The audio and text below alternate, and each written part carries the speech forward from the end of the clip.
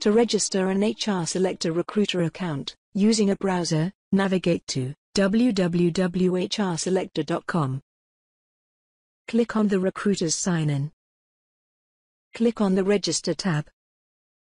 Enter your email address. And then click Continue.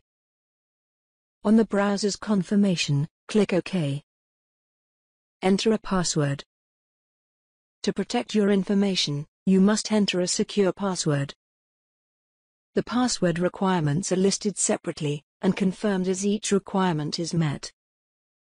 Locate the email containing the HR Selector activation code and enter it in the activation code field.